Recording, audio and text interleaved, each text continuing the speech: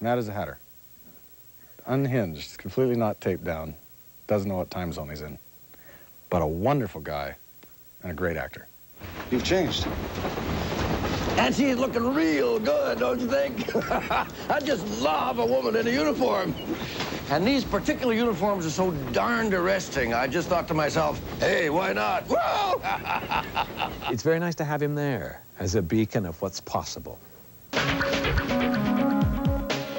Kenny Welsh is, is the, he's one of the stalwarts of uh, Canadian film and television, and one of the guys that cheered us on and we cheered on when he started appearing in American movies. You know, when we saw Kenny Welsh do it, we thought, rock on. Kenny's on Broadway. He's doing his own show. He's doing a show about Shakespeare, and, and he's in Crocodile Dundee. Oh, my God. What happens?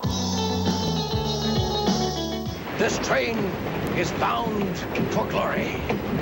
Because this train is now a trigger mechanism for an imminent nuclear meltdown. Ken's great. He's just, I've worked with him just a couple of times. It's been fantastic both times. I'd love to do something really meaty with him. We sort of never quite seem to be on the same thing.